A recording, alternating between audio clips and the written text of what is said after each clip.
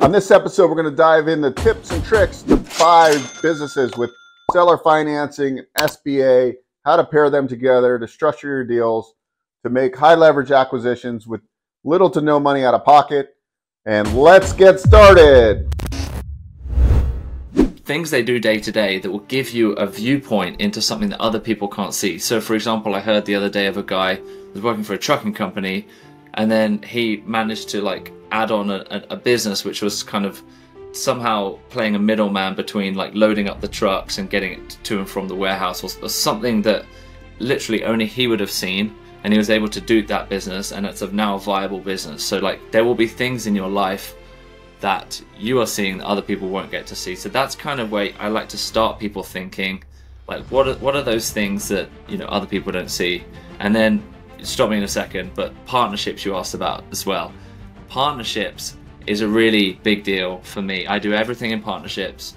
I have a strong belief that people go further in good partnerships than carrying the weight and reward solo. Like, yes, of course, that you get more of the pie if you do it solo, but like, it's a long game, this, and you want to share that journey. And also, if you do get a big win, you kind of want to share the wins as well. Um, so it's kind of nice to share the hard times and the good times with someone. And I've I've seen personally, I'd be interested in your thoughts, but I've seen the guys that win over the long term. They do everything in partnerships, and that's the model I'm trying to create as well. So on on all of our deals so far, we've done heavy seller financing, between 60 and 100% seller financing on all the deals we've done.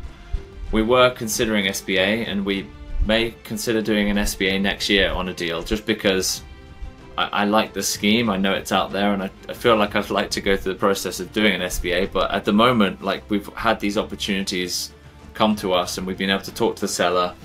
And it, what I'd love about seller financing is the creative aspect. So sellers genuinely, from my experience, do not always want a lump sum of money straight away. If they've run a business successfully for 10, 20, 30 years, they don't actually need a huge chunk of money in one go. They actually prefer it in many instances being paid out over time because they can save on capital gains tax and it's just better for them. Yes.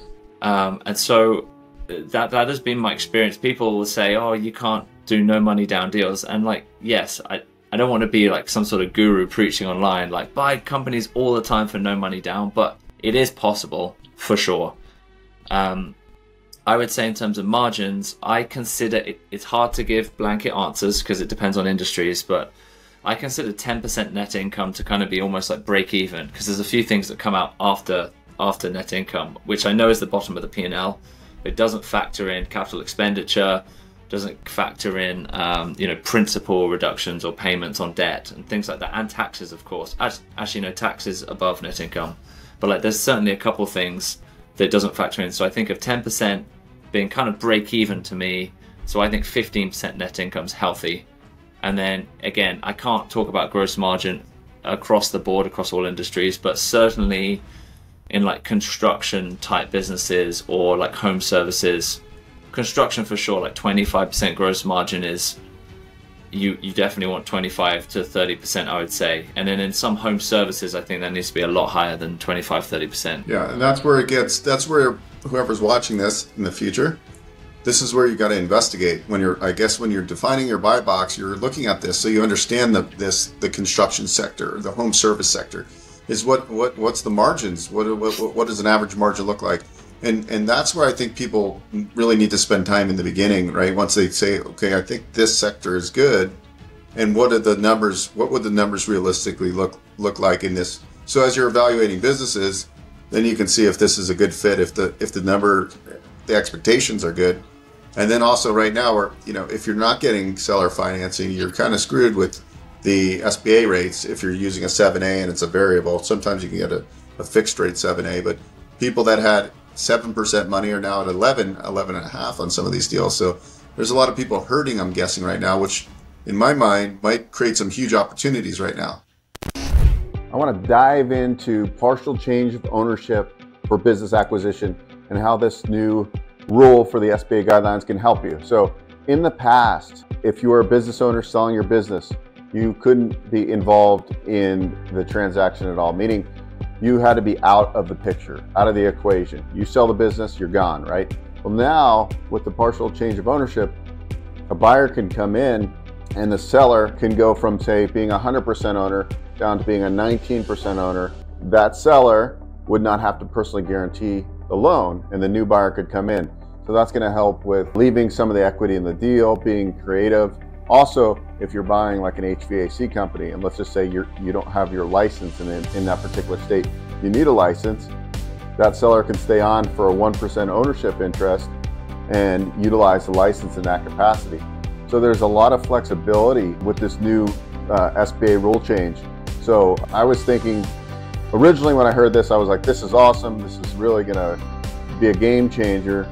And then because the SBA rules have changed so much, I, I, asked an underwriter, I said, is this, is this legitimate? This was a few months back. And she said, no, you have, we still have to do a six month look back. So that owner would have to still be a guarantor if they were 100% owner and now they're 19%, they would still have to guarantee. Well, it's now cleared up. That's not the case, which is great news. So essentially, when you're structuring your offers on business acquisition, you can leave the seller in and potentially have some kind of slower process of paying them off, leave their equity in the deal. You need the license. So this this is a game changer for SBA guidelines. And as a entrepreneur looking to acquire businesses, this is going to be a very useful tool for you. Uh, there's a lot of new rules happening, uh, changes each month that I've seen.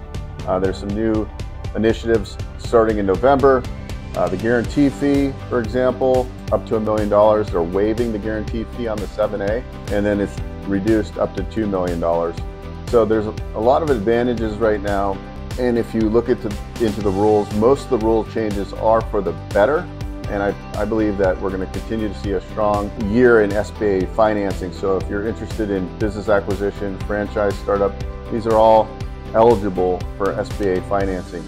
So anyway, if you have any questions on SBA financing, you can go to bookwithbeau.com. You can schedule an appointment with me and we can dive into all different caveats of SBA, how to structure the deals, you know, leaving uh, seller's equity on standby, and so forth. So there's a lot of ways to structure these deals creatively, which basically allows you to buy these businesses with little to no money out of pocket if done correctly.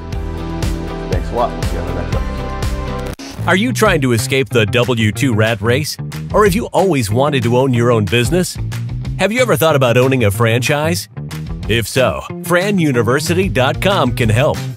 Our training program teaches you everything you need to know about franchise ownership. You'll gain the skills and knowledge you need to succeed as a franchise owner.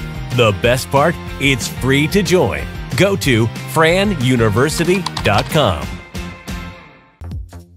Hey guys, Beau Eckstein here. If you enjoyed what you saw, please subscribe to this channel. We talk all things financing. I've been in the lending industry for over 20 years and I'm happy to answer your questions and provide great content.